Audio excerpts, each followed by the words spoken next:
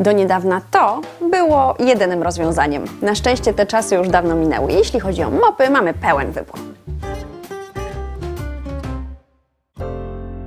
Kochani, dzisiaj przygotowałam dla Was trzy bardzo różne propozycje trzech mopów, w zależności od tego, jakie są Wasze potrzeby. Na pierwszy ogień pójdzie to małe cudo, które trzymam przed sobą. Wyobraźcie sobie, że to jest po prostu e, ściereczka nałożona na podstawkę, a tu jest zbiornik z wodą. I teraz uwaga, patrzymy w to miejsce. Magia, co? Za pomocą tego uchwytu tutaj mogę pryskać przed mop, żeby zwilżać podłogę w miarę mycia. Rewelacyjny sposób, idealny do łazienki, żeby przetrzeć podłogę po kąpieli, do kuchni, kiedy coś się wybrudzi, na wszystkie małe powierzchnie. Więc jeżeli macie małe mieszkanie, um, nie potrzebujecie nie wiadomo jak dużego mopa, cudowne, wygodne rozwiązanie i dlaczego to jest fajne? Nie musicie mieć wiadra. Nie w każdym mieszkaniu jest e, miejsce na to, żeby wiadro jakoś dyskretnie, fajnie przechować. A teraz muszę go odstawić do kąta, skoro nie chcę stać sam. Opcja druga. To jest rozwiązanie dla ludzi z większym metrażem. Taki tradycyjny, zwinny, wygodny mop, mm, przypinany na takie zapinki, jak są w kurtce. Czyli bardzo łatwo jest go odpiąć i założyć ponownie. I teraz zobaczcie, jakie to gizmo robi cuda. Odpinamy tutaj jednym naciśnięciem palca wkładamy do wiadra. Wiadro po pierwsze jest pojemne, a po drugie ma duże wejście, więc nie będziecie się szamotać, żeby tam włożyć.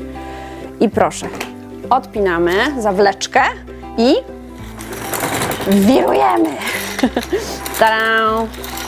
Siła odśrodkowa wyciska z tego mopa po prostu ostatnią kropelkę. To jest rewelacyjny sposób na to, żeby mieć tego mopa prawie suchego. A dlaczego to jest ważne? Bo przy panelach nie możecie tej podłogi moczyć. Ta wilgoć może gdzieś tam wejść w otwory i panele będą całe pofałdowane i zniszczone. To musi być taki ledwie wilgotny mop, taki jak ten. On się cudownie odwirowuje, myjemy takimi zakrętasami i w parę minut można naprawdę obskoczyć cały dom. Bardzo fajne, bardzo wygodne, praktyczne rozwiązanie. A teraz trzecie rozwiązanie. To jest rozwiązanie dla kogoś, kto ma naprawdę duży dom, dlatego że powierzchnia tego mopa jest już ogromna. Jak możecie zobaczyć, ten mop jest używany w moim domu. E, najbardziej po nim widać brud niestety. E, no cóż, dom na wsi, więc e, tak to bywa to możecie wymieniać. Są cztery rodzaje. Jedna wersja do kafelków, druga wersja tylko do parkietów, delikatna, mięciutka, nic się nie podrapie. Ta jest uniwersalna i do podłogi z kafelków, i do podłogi e, drewnianej. I jest jeszcze czwarta nakładka, bardzo fajna do um, używania na sucho, taka elektrostatyczna, przyciąga do siebie wszystkie e, cząsteczki kurzu, czyli jeżeli nie lubicie zamiatać, żeby się ten kurz nie wznosił, to wystarczy wytrzeć takim mopem na sucho. To jest ta uniwersalna wersja i pokażę Wam jak to działa. Po pierwsze, zobaczcie rozmiar tego mopa i tego mopa.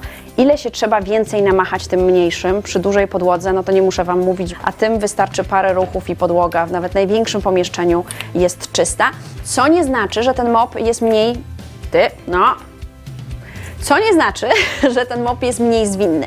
Jest równie zwinny, łatwy, lekki i można nim w ogóle kręcić kółeczka i bez problemu. A teraz przedstawiam Wam potwora, który wyciśnie z niego całą wodę.